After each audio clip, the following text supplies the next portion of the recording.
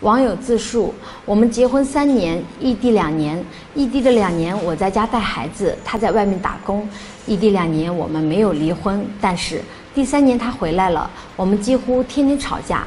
最后因为一句话，我死活跟他离了婚。真的再不离婚，我就被他折腾死了。他自己不高兴，非折腾的全家人都不高兴才肯罢休。我和我老公是在外地认识的，我家里面是农村的，没有就业机会，而我自己又没有一个好的文凭，找不到一个好的工作，只能去城里给人家打工。去了一个星期都没有找到一份合适的工作，没办法找一个选房的表哥，就给我安排进了一家小超市，当起了收银员。而老公正好是我们超市楼上一个小公司的员工，他每天都会来我们这里买烟买水，一来二去我们也熟悉了起来。经常买东西的时候会跟我唠会嗑，并且问我要了联系方式。他也知道我每个星期几休息，所以在休息的前一天都会跑过来跟我聊天，约我第二天跟他出去玩耍或者吃饭。起初的几次我都是拒绝的，因为我对他没有一点好感，而且我又是自己一个人在这边，我也害怕被骗被欺负，所以我一直都是保持一颗警戒的心，拒绝了他好几次。可他还是一如既往的约我出去，几乎每次都很热情。后来我就打算给他一次机会。看看他到底是什么样的人，如果不行的话，直接和他摊牌，让他死了这颗心，以后不要再来找我。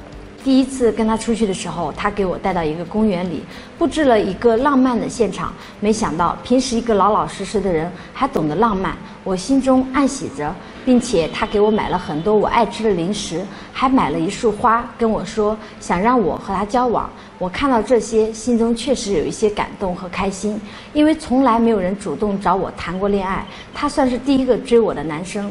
但是我依然没有答应。我说咱们先从朋友做起，彼此多了解了解。他也答应了。做朋友的过程中，我慢慢的发现他非常的有耐心，做事非常认真，而且脾气也温顺，对我也是百依百顺。所以我就慢慢喜欢上了他。我们在一起爱情长跑了两年，这中间他对我非常好，他给我感觉永远都是一个踏实稳重的样子。我们也都见到彼此的父母。不久后，他就向我求婚了，我答应了他，因为我也老大不小了，该安稳下来了。我和我父母说，他们也同意我们婚事。结婚后一年，我们就有了一个小宝宝。后来由于我们的家庭条件都不算好，而且还专职在家带孩子，他就去外地打工，多赚一些钱。在外地打工的第一年还算正常，什么都没变化。可是第二年后，什么都变了。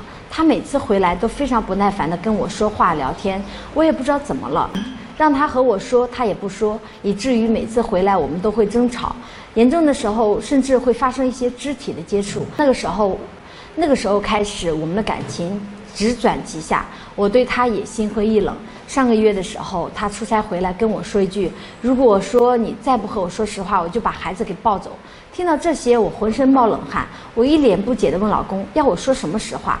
原来他怀疑我出轨，原因就是每次他回来，我都不跟他亲热。我直接给了他一巴掌，说道。老娘每天辛辛苦苦在家带孩子，你既然怀疑我，我们离婚吧，我受够了。而他竟然也没有挽留，说离就离。当天晚上，我带着孩子回娘家，我觉得他要给我低头，我就给他一次机会。没想到他第二天给我打了一个电话，说民政局见。我看出来他是铁了心要和我离婚，我没办法就去民政局和他办理了手续。这一下两人都解脱了。